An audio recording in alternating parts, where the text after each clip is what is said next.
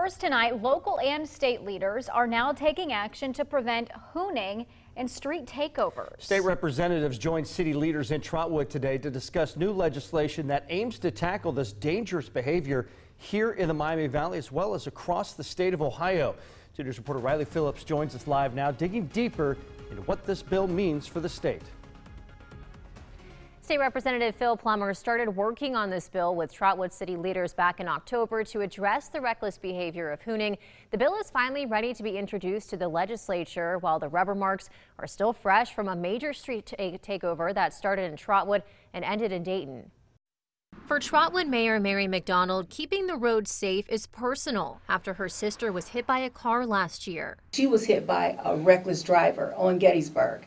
She was hit, she went in for surgery, surgery went sideways. She was in the hospital from August till now a nursing home at 55 years old. That's why she's ready to hold people who take part in hooning and other reckless behavior on the road accountable. This is not something that people should take lightly. This is something that jeopardizes each and every one of us out on the street. Mayor McDonald has been working with state representatives Phil Plummer and Andrea White and the Trotwood Police Chief to create a statewide approach to hooning. They came up with legislation that would enforce stricter penalties and provide local police departments access to state resources to help track people behind the wheel of these street takeovers. We're going to kind of be preemptive here. We'll see when they're coming to our communities. We'll deploy assets, license plate readers, cameras, we're going to be ready for them. Trotwood Police Chief Eric Wilson thinks this bill could be the key to preventing these events from happening. We have great laws the way they're written. They just didn't have any teeth to them. So hopefully, with what the uh, Representative Plummer is saying now,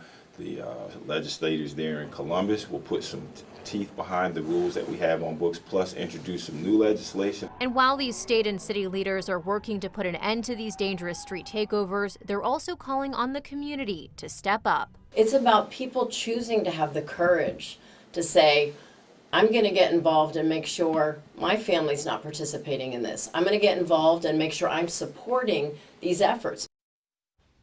The bill would also have penalties for bystanders who are filming these street takeovers for, for profit. Plummer says the bill is ready and will hopefully be introduced within the next week. In the studio, Riley Phillips, 5 on 2.